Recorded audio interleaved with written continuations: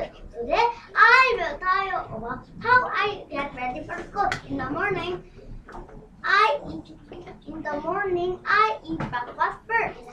Second, I brush my teeth. Third, I dress up. Fourth, I work to go to school. Next, I go home and tell my mom of my dream.